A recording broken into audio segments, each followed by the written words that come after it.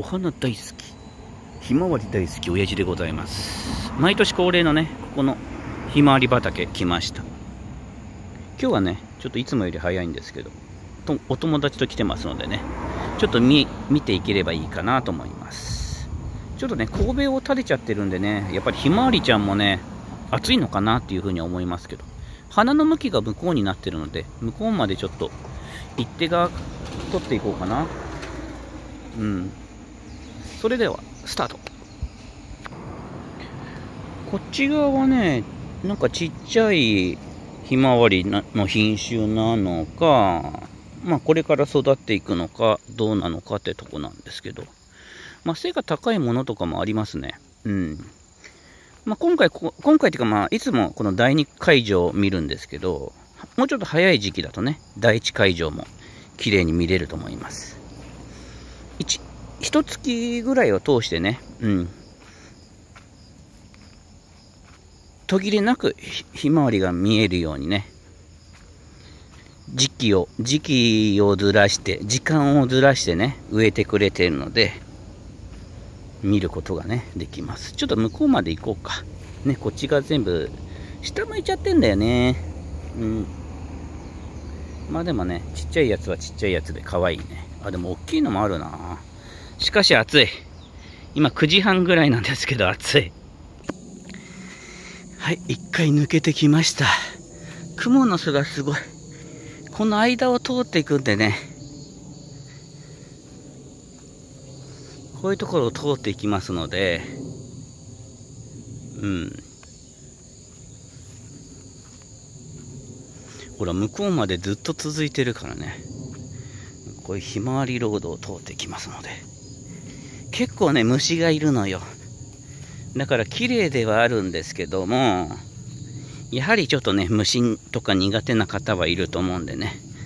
まあ来られる方はね、ちょっとそこら辺覚悟してきていただければなと思います。まあ蜂がいたり、ハエがいたりね、アブがいたり。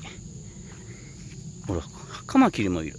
バッタもいるんだけどね、トンボもいて、いろんな虫が私の手にくっついてたり。さすがにね、ここでスズメバチに攻撃されたことはないんで。あと、クマバチみたいなね、クマンバチみたいなのもいたりしたかな。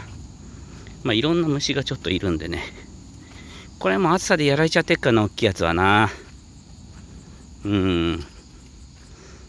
バッタもね、飛んでおりますけど。いや、しかし暑いな暑い暑い。頭に、私の頭に蜘蛛の巣がめっちゃ。今日朝、朝から頭をね、買ってきたので、もうツルツルツルリンですから、余計ね、日が当たって暑いですけども、すごい雲の巣が。朝だから、まだね、そんなに止まってる車もいないし、全部の通路を通ってないと思われますので、私がいの一番に雲の巣に引っかかると、そういう感じですけども。今回ね、一応、まあ、第1会場の方は多分行かないと思うんですけど、この第2会場と、あとはいつもね、行くんですけど、えー、まあ、第3会場というか、まあ、球場ね、野球場があるんですけど、少年野球ね、やるところがあるんですけど、まあ、そこら辺にもね、ちょっとひまわり畑あるので、そこもちょっと行こうかなと。すごい、蜘蛛の巣がもう嫌。蜘蛛の巣は嫌。ベタベタするから。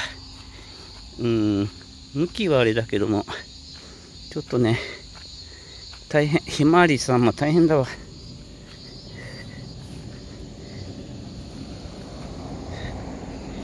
これもね、もうちょっと時期が遅くなってくると、まあ私が行くのが大体8月の終わりぐらいで、20日過ぎぐらいから行くんですけど、そのぐらいになるとね、ひまわり切って持ってっていいよなんてね、管理者の方が言ってくれるので、まあ私はね、ちょっと持って帰れなかったですけども、まあそういうこともやってくれるのでね、とてもありがたいですね。うん。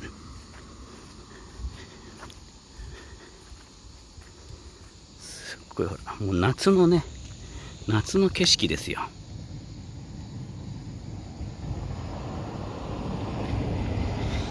いや、ありがたいわ。無料でね、管理して、あ、無料じゃない、無料で開放してくれてるのでね、管理はお金かかるわ。うん、とてもありがたい。あ、こっち側はね、そうだね。こっち側のが、もういつもね、あの、20日過ぎぐらいだと、もう、刈られちゃってるんですね。持って帰っていいよ、つって。だから今回こっち側見れるのはいいな。結構ね、この道ね、知る人ぞ知る、まあ抜け道じゃないんですけど、そういうところなんでね、割と通る方いるんですけど、まあ、知ってる方なのか知らない方なのか。まあやはりね、ひまわりのところを見てね、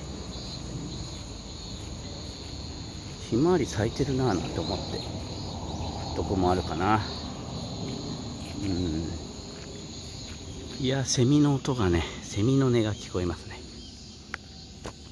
暑い。これなんだろうね。このピンクの子たちは。このピンクの子たちは誰かな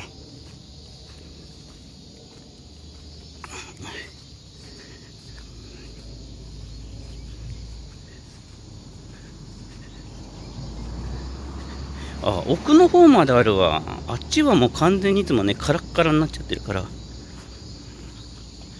今ね、ひまわりを持って帰ろうとしてる人とかいますけど、ここら辺はちょっと日陰だからなのか、まだちょっと元気がいいな。うん。すごい、私の、私の顔が綿あめみたいに蜘蛛の巣で綿あめみたいになってる。ほら、こっち側なんかもう絶対なかったのよ。やっぱちょっと早めに来てよかったわ。今日8月15日だったかな。明日台風来るっていうんでね、ちょっと心配なんですけど、向こうの方ちょうどいいね。あの一列は結構綺麗に見えてるわ。頭がちゃんと覗いてる。もう夏の空ですわ。いや、すごいな。こっちまでなかったからな。もう完全にね、あの、友達、せっかく来てる友達とはま別で動いてるんですけど、まあ撮影をね、終わったらちょっとね、いろいろお話ししながら、ほら、こっちの方もね、ひまわりさん。あ、ほら、ここら辺は綺麗じゃん、綺麗じゃんっていうか、あの顔出してる。よいしょ。今日は長ズボンで今日は来たんだけど、サンダルだから、あ、ダメだ、もう熱暴走のあれが出ちゃってるね。ほら、ここら辺なんかは結構綺麗よ。なんかミツバチ、ミツバチちゃんとかもいるし。あ、これも結構綺麗なあれだね。ちょっと写真撮っとこうかな。いや、しかし熱がすごいなぁ。でもこれはいいや、こっちの方は。ほら、これ綺麗にと咲いてるね。ちょっとごめんね。邪魔してごめんね。ほら、ここら辺はいいね。この、なんつうの、年輪みたいなさ。これが一個一個ちょっと違うのよね、内部の。そこら辺もちょっと綺麗だな。あ、ちょっと向こう撮影してるから。撮影っていうか、まあ、記念撮影ね。うん、私たちみたいな。あ止まったか？あ、大丈夫だ。あの、注意が出た。ただもういつ止まるかわからない状態なので、まあ、ご挨拶できずに止まったらね、えご了承ください。ご容赦ください。